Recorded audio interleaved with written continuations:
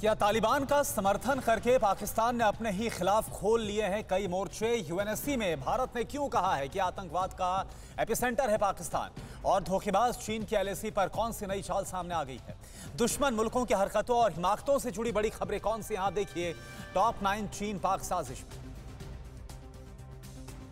पाकिस्तान ने अफ़गानिस्तान मुद्दे पर अमेरिका पर निशाना साधते हुए बोला कि अमेरिका ने पाकिस्तान को किराए की बंदूक की तरह इस्तेमाल किया। अफ़गानिस्तान में अमेरिका के 20 सालों तक रहने पर पाकिस्तान की अर्थव्यवस्था को 150 अरब डॉलर का नुकसान हुआ।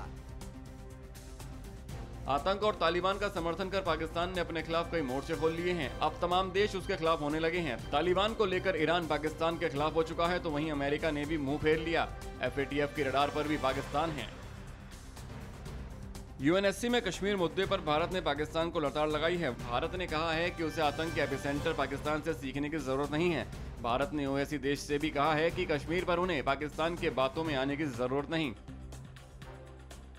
जम्मू कश्मीर के डीजीपी दिलबाग सिंह ने कहा है कि पाकिस्तान से लगातार आतंकी वारदातों को अंजाम देने और संघर्ष विराम के बावजूद घुसपैठ कराने की कोशिश की जा रही है। डीजीपी ने कहा कि आतंकी मंसूबे को कामयाब नहीं होने दिया जाएगा।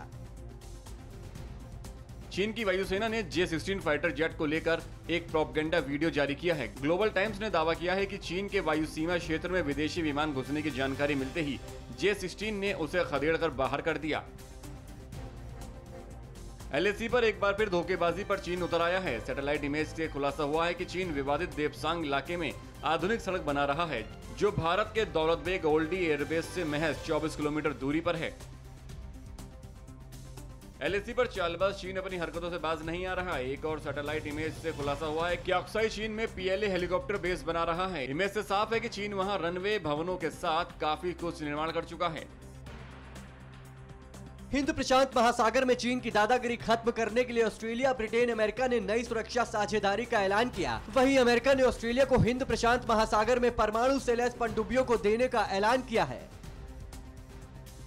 ऑस्ट्रेलिया, ब्रिटेन और अमेरिका के समुद्री सुरक्षा को लेकर नए गठजोड़ से चीन बौखला गया है। चीन ने कहा कि ये गठजोड़ शीत, युद्ध, मानसिकता और वैचारिक पूर्वाग्रह से ग्रसित है। किसी भी देशों का गठजोड़ किसी देश के बहिष्कार के लिए नहीं बनना चाहिए।